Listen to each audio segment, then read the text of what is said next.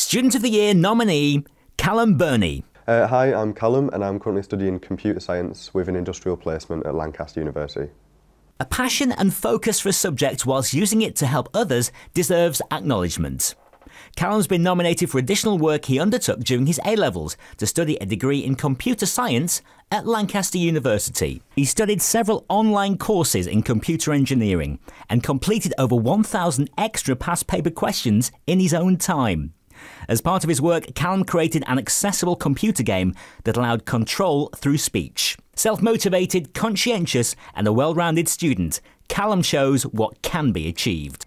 So, I did a lot of software engineering uh, courses outside of college, and I did a few coding uh, like programs, and I think I did Python, Java, SQL, C, C++, uh, JavaScript and Ruby were my main ones that I focused on. I've always sort of wanted a career in either coding or like artificial intelligence.